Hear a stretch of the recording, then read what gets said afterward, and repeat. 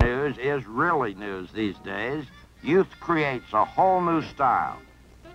Twiggy, a skinny cockney girl, models her revealing styles on a body that has little to reveal.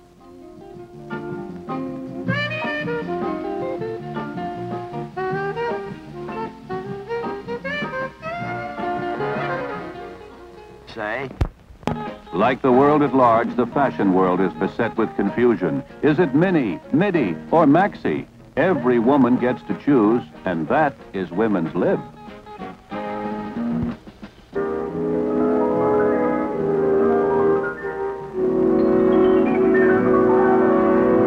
Pierre Balmain's poncho-like ensemble employs huge polka dots for dramatic effect. While his hostess gown uses more material in the sleeves than in the body of the dress. Gerard Pipart for Nina Ricci has designed a soft line, gentle spring coats and dresses, tailored yet feminine. The dress which is worn under this coat is similar, with a low waistline marked by a bow and inverted pleats.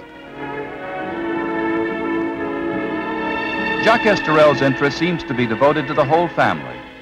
Family which wears pants together stay together?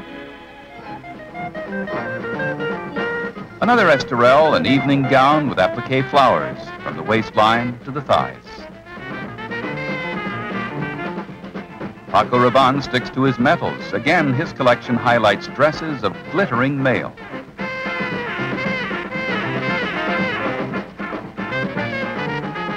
A medieval helmet accents a swinging miniskirt.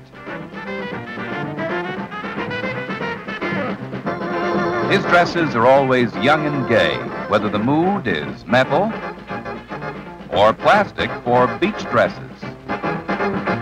Designed some warm woolen dresses for Jacques Heim. Striped woolen stockings and mittens give an old-fashioned look to this caped coat.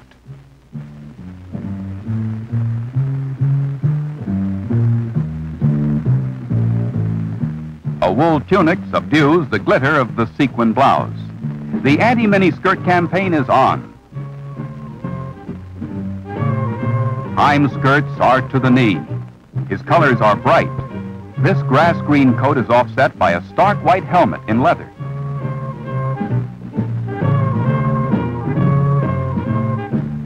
Wool and silk appear in cocktail or at home dresses. The Moroccan influence is reflected in this silk caftan.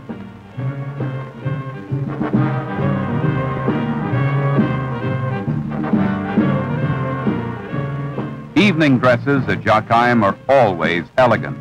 The brocade swoops down in the back, but black mink should ward off any chill.